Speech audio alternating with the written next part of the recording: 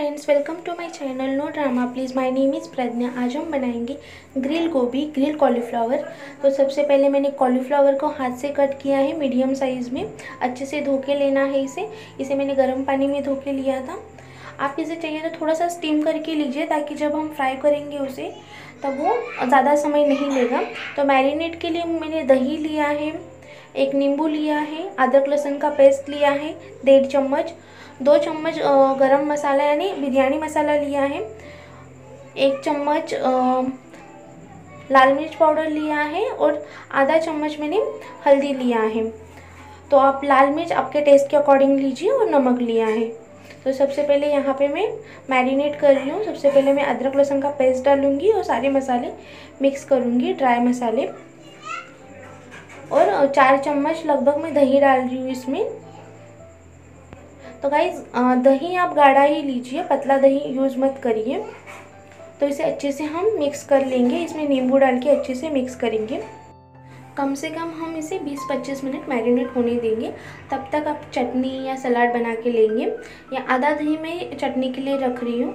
तो गाइज़ यहाँ पे मैं एक टिप्स दे रही हूँ, आप हाथ से इसे मैरिनेट मत करिए, क्योंकि हाथ में बहुत जलन हो जाता है। तो आप स्पून से यूज़ स्पून से अच्छे से मिक्स करिए तो स्पून से अच्छे से इतना मिक्स नहीं होता है। तो पहले आप हाथ में ऑयल लगाइए, फिर मिक्स करिए। तो अब हम अब हम इसे अच्छे से मिक्स करके, थोड़ा सा नींबू डालेंगे, अच्छे से मिक्स करके इसको रख देंगे 25 मिनट के लिए।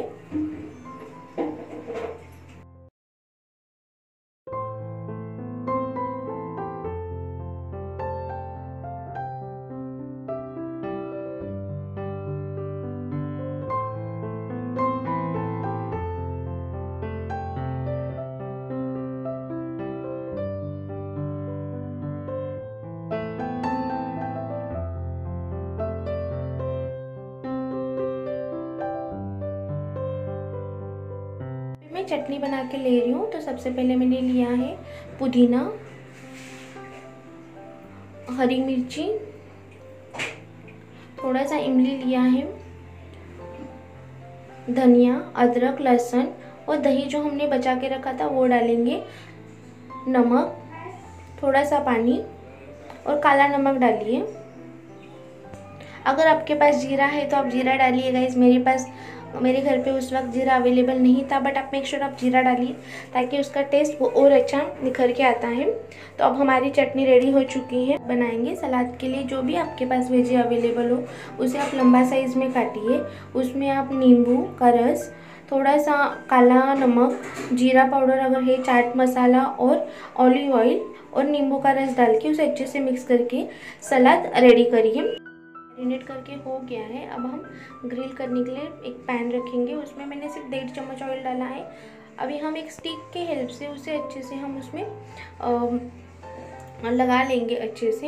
यहाँ पे मैं आइसक्रीम के स्टिक्स ले रही हूँ अच्छे से धो के उबाल के मैं इसे यूज़ कर रही हूँ। आपके पास जो भी स्टिक अवेलेबल हो आप वो यूज़ करिए।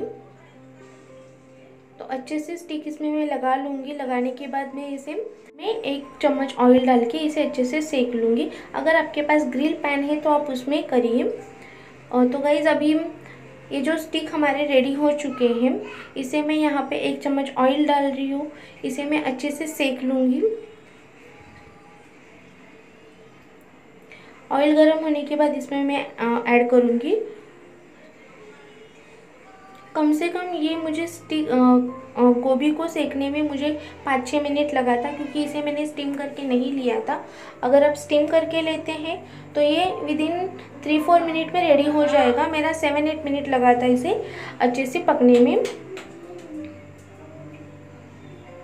तो इसे अच्छे से मैं इसकी चारों साइड से अच्छे से सेक कर ले लूँगी।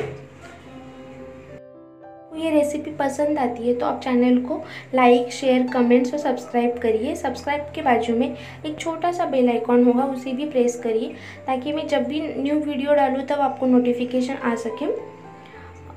अभी हम अच्छे से इसे फ्राई करके लेंगे। फ्राई मीन्स सिर्फ़ उसे सेक कर ले रहे फ्राई एकदम एक चम्मच ऑयल डाला है हमने।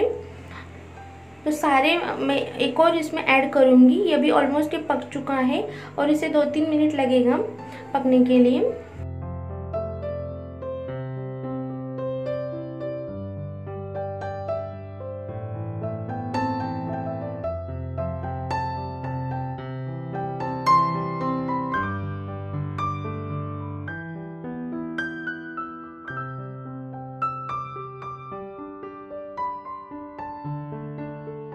अच्छे से चारों साइड से सेक लिया है। अभी ये सर्व करने के लिए रेडी हो चुका है।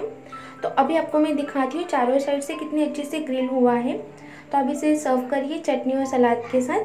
Thanks for the watching.